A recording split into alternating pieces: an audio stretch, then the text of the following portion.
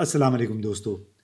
इंसदाद दहशत गर्दी की एक अदालत ने पाकिस्तान तहरीक इंसाफ के चार हज़ार एक सौ पचासी गिरफ़्तार कारकुनों का पाँच से सात रोज़ा जिस्मानी रिमांड मंजूर कर लिया। अदालती समात जज अमजद अली शाह ने की, जिसमें मुख्तलिफ़ थानों के कुल पाँच हज़ार नौ सौ इकहत्तर कारकुनों को पेश किया गया। यानी पाँच हज़ार नौ सौ इकहत्तर गिरफ्तारियाँ, ये वो हैं जो आज इंसदाद दहशत गर्दी की अदालत में पेश की गई। और मजमू तौर पर कोई सात सौ उनचास गिरफ़्तार अफराद को चौदह रोज़ा जुडिशल रिमांड पर अडियाला जेल भिजवाया गया, जबकि एक खातून समेत सैंतीस कारकुनों को अदालत ने डिस्चार्ज भी कर दिया। इसी असना 24 नवंबर को होने वाले एहतजाज से मुतक रावलपिंडी डिवीज़न के 16 थानों में तेईस मुकदमात दर्ज किए गए। सबसे ज़्यादा मुकदमा ज़िला अटक के थानों में दर्ज हुए, जिनमें बहत्तर हज़रो हसन अब्दाल और फ़तेह जंग, जबकि हसन अब्दाल ज़िला के दस मुख्तलिफ़ थानों में बीस एफ़ आई आर दर्ज की जा चुकी हैं और इसमें पी टी आई की क़्यादत और बीस हज़ार से जायद कारकुनान भी शामिल हैं और सात सौ से जायद कारकुनों को दहशत गर्दी अदालत में भी पेश किया गया। ये वो अदाद शुमार हैं जो कि ताज़ा तरीन आज मीडिया के सामने आए और इसी तरह छब्बीस और सत्ताईस नवंबर की दरमियानी शब जो कुछ इस्लामाबाद में हुआ, चाइना चौक और कुलसूम प्लाज़ा चौक के दरमियान उसमें जो जानी नुकसान हुआ, अभी तक उस पर बहुत छः गोयाँ जारी हैं और उसकी बुनियादी वजह यह है कि पिम्स हॉस्पिटल और पॉलीक्लिनिक अस्पताल में अमलन एक कर्फ्यू लगाया गया था, सेंसर लगाया गया था कि वहाँ से कोई मालूम बाहर नहीं दी जाएँगी। लेकिन जुमे के दिन मरकज़ी तर्जुमान वकास अक्रम शेख ने पेशावर में उमर अयूब के हमरा एक प्रेस कॉन्फ्रेंस में तस्दीक की कि मुजाहरे के दौरान बारह अफराद जहाँ भाग हो चुके हैं। असल तादाद ज़्यादा है, लेकिन उन्होंने कहा कि ये सिर्फ़ तस्दीक शुदा अदाद शुमार के साथ शेयर किए जा रहे हैं।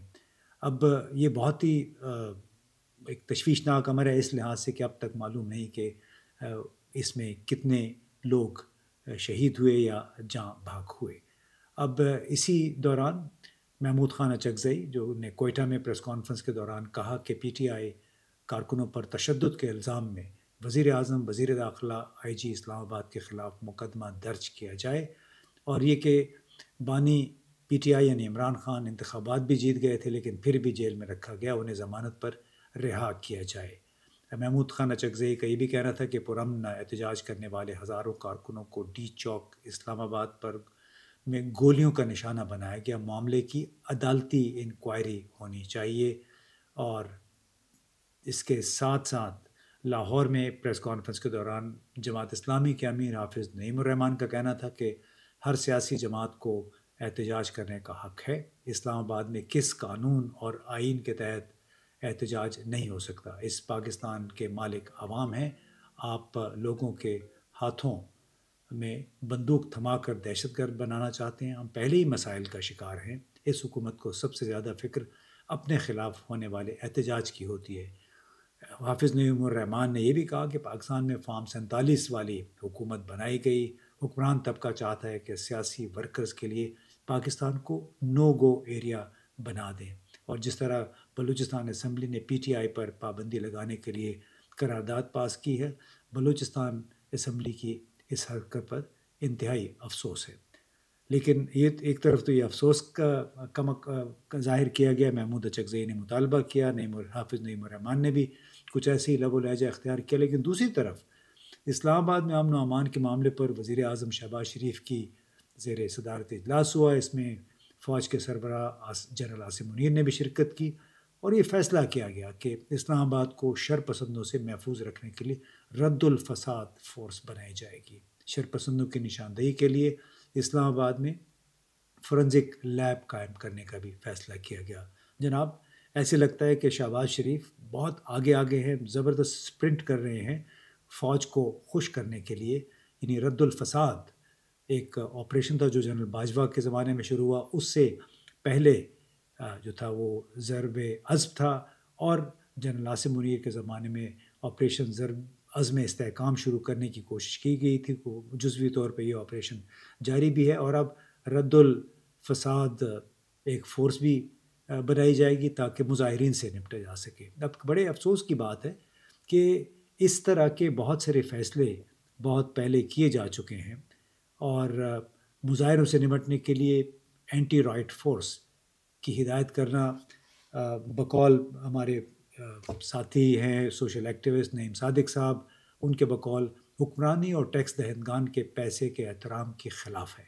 ये एक आजमाया हुआ नुस्खा है, जैसे dolphin force special security units police commandos counter terrorism force और एलीट पुलिस फोर्स के लेबलों के तहत पहले भी कई बार ये मॉडल आजमाया जा चुका है। इनमें से बहुत से अली तरबियत याफ्ता यूनिट तो ज़्यादा संजीदा कामों पर तैनात होने की बजाय ज़्यादातर वी आई पीज़ की हिफाजत में मसरूफ़ रहते हैं।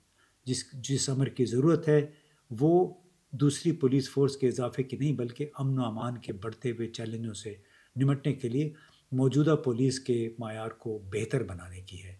एक नई रद्दुलफसाद पुलिस फोर्स बनाना दान स्कूलों के क़्याम के मुतरदफ़ है, जो कि चंद लोगों को फ़ायदा तो दे सकता है, लेकिन बड़े पैमाने पर स्कूलिंग के मैार को बेहतर नहीं बना सकता। ये वो ख्याल हैं जिनका इजहार नईम सादिक साहब ने एक वज़ी अजम के नाम एक खुले ख़त में किया है। अब इसके साथ साथ एक और, एक क्राइसिस जारी है, पीटीआई के अंदर। लेकिन उस पर आते हैं, पहले बात कर लें कि क्या रद्दुल मुजाहरीन या रद्दुल फसाद, जो फोर्स है, उसके ज़रिए सियासी महरूमी हकूक़ से इनकार और बेानसाफ़ी का अजाला हो सकेगा?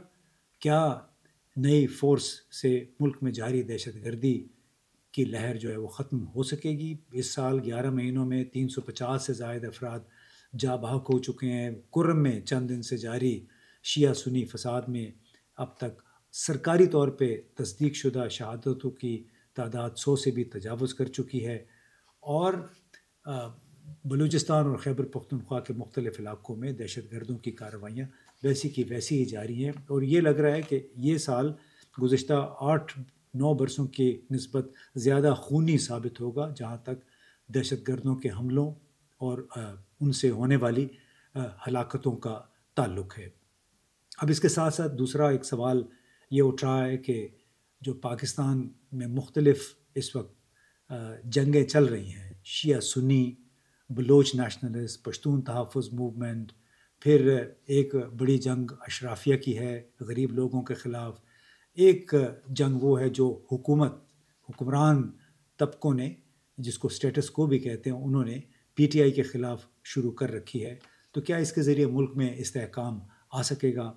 इसके साथ साथ एक बड़ा सवाल ये भी पैदा हो रहा है कि पीटीआई का मुस्तबिल क्या है? क्या अकेला इमरान खान जेल के अंदर रह के वहाँ से बेबसी की हालत में देखता रहेगा कि किस तरह उसके लीडर, वो लीडर, वो क़्यादत जो जिसने सीने पर इमरान खान के बैच लगाए, वो सजा कर सेनेट, कौमी असम्बली सूबाई असम्बली में पहुँचे क्या वो उनका एहतसाब करेंगे और वो क़्यादत के बारे में क्या वो महज हाथ मलते रहेंगे या उनके हवाले से कोई फ़ैसला होगा? बिलाशुबा बहुत सारे रहनुमाओं ने सख्तियाँ झेली हैं नुकसान बर्दाश्त किए हैं, मगर जनाब पाकिस्तान जैसे मुल्क में तो ये सियासत का हिस्सा होते हैं, इस किस्म के नुकसान इस किस्म की सख्तियाँ। आखिर इमरान ख़ान भी तमाम सख्तियाँ बर्दाश्त किए हुए हैं अभी तक, और उसने अभी उफ तक नहीं की कंप्रोमाइज़ नहीं किया है। तो सवाल ये कि क्या ये सख्तियाँ और मुश्किल सिर्फ़ इमरान ख़ान ने झेलनी है? उस शख्स ने जो कि बार बार ये कह रहा है कि मेरा मुकदमा पाकिस्तान का है। पाकिस्तान में आइन कानून की हुक्मरानी का है। अब, बुनियादी एक सवाल ये भी है कि क्या पीटीआई की उस क्यादत का एहतसाब होगा जो 26 नवंबर को गायब और हज़ारों कारकुनों को डी चौक, चाइना चौक के दरमियान बेयार मददगार छोड़ गई। क्या तमाम इस अमर पर समझौता कर लेंगे कि एंटी टेररिस्ट एक्ट कवानीन के डर से अब मज़ीद मुजाहरे या एहतजाज नहीं किए जाएँगे। क्योंकि एक बात बड़ी वाज है कि पाकिस्तान में तो जूँ ही जिसको भी दबाना होता है, जलील करना होता है, उसके ख़िलाफ़ इंसदाद दहशत गर्दी एक्ट की दफ़ात लगा दी जाती हैं। ये क्या बदजन कारकुनों को दोबारा मोटिवेट मुतहरक किया जा सकेगा? ये बड़े सवाल हैं। जो जवाब सिर्फ़ इमरान खान के पास है कि क्या इस क़्यादत का एहतसाब होगा? या मज़ीद पश्तून नौजवान मौका परस्त सियासतदानों की मसलहत की भेंट चढ़ते रहेंगे।